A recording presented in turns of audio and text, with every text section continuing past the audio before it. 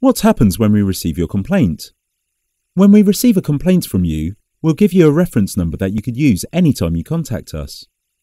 We then start looking at your complaint by carrying out some checks. We call this an assessment.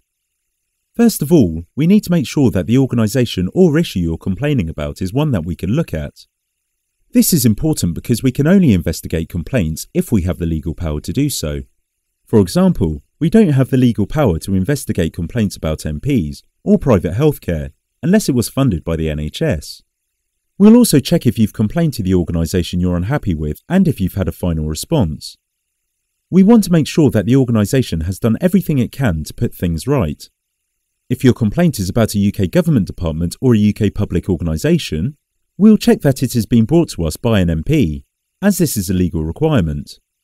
Next, we'll look at whether the organisation you're unhappy with may have made a mistake or provided a poor service, what effect this may have had on you, and whether the organisation has taken steps to put things right. We will usually investigate a complaint where we believe something has gone wrong.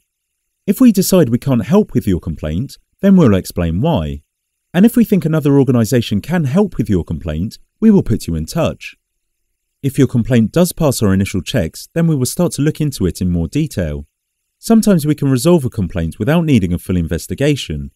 But if we do decide we need to investigate, then we will keep you informed every step of the way. To learn more about what happens when we investigate a complaint, watch our What Happens When We Investigate a Complaint film. For more information about how we could help or to make a complaint, visit www.ombudsman.org.uk or call us on 0345 015 4033.